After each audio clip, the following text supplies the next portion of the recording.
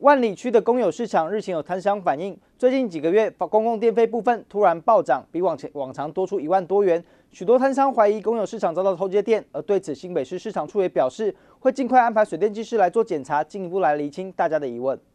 万里区公有市场里头共有十多位的摊贩，而日前摊商反映，最近几个月发现公共电费的部分突然多出了一万多元，认为电费过高，相当怪异。而摊商表示，在新北市升格之前，公有市场的电费是由乡公所来负担，不过在升格之后，除了摊位的个别电费，还有公共空间，例如电灯等费用，都是要全部摊贩一起平均负担。但是最近却多了将近有一万多元，让他们觉得有些。夸张，一个月本来这个走廊的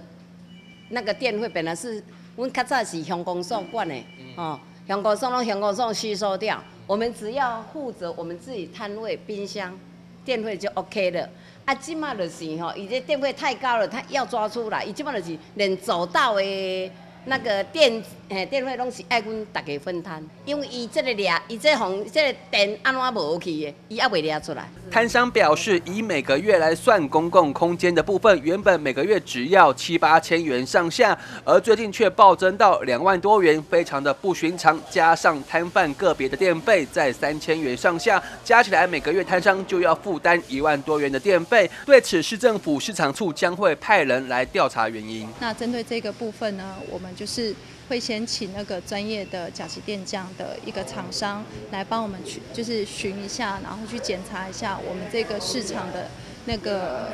水电的部分有没有问题。那如果说没有问题的话，后续我们也会去检讨。这个建筑物的那个契约容量，用电的契约容量，然后针对这个部分去做一个合适的调整。其实每一个摊位都有个别的电表来计算摊商所使用的冰箱、照明等电费，而公共空间除了日光灯之外，也没有开空调，对于电费暴增，让摊商一度质疑市场被有心人偷接电。而新北市市场处也将会请水电技师来做检查，进一步的来解决问题。记者许端亿万里采访报道。